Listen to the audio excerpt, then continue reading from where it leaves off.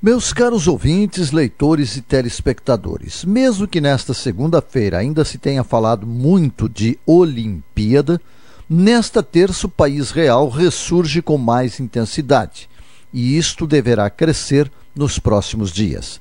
As revistas do fim de semana, além das competições e de cobertura extraordinária dos jogos, já desnudam o que estava além da lona. Algumas denúncias envolvendo o ministro do STF, Dias Toffoli, com a empreiteira OAS, de quem teria recebido ajuda para reformas em sua casa, provocou inclusive a suspensão da delação premiada de Léo Pinheiro pelo Procurador-Geral da República, Rodrigo Janot.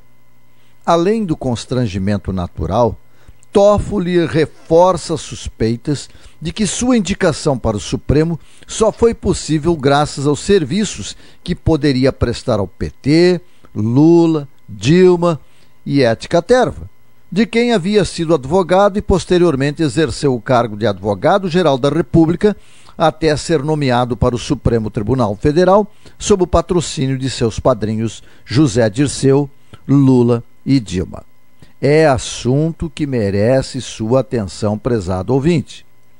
A partir de quinta-feira, recomeça a fase mais aguda do julgamento final do pedido de impeachment de Dilma Rousseff.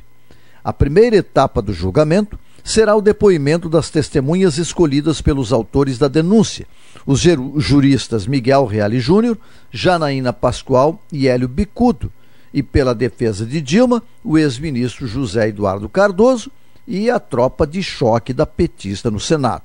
Ao todo, são oito testemunhas. A acusação escolheu duas e a defesa de Dilma esgotou o número máximo, que é o de seis. Não haverá novidade no que acusação e defesa vão dizer e argumentar. Creio até que isto não seria necessário, pois não acredito em virada de jogo. Nem mesmo com a já confirmada presença de Dilma no dia 29, a próxima terça-feira, quando fará sua própria defesa. Além de todas as hipóteses previstas para o tom que ela deverá adotar, não se descarta um, já descartado pela própria como improvável e inexistente, que é o da renúncia.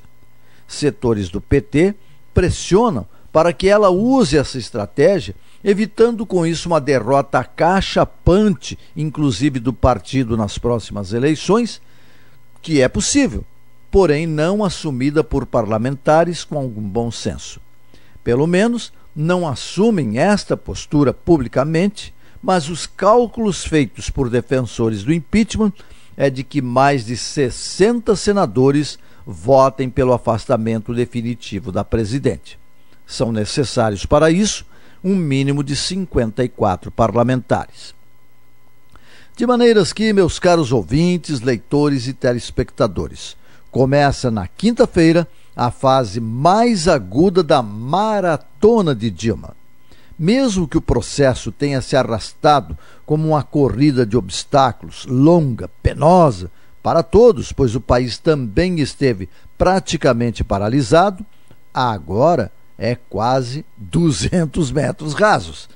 Para desalento dos dilmistas, nas raias estão verdadeiros bolts, dispostos a não colocar em risco seus recordes de velocidade e terminarem de vez com esta agonia.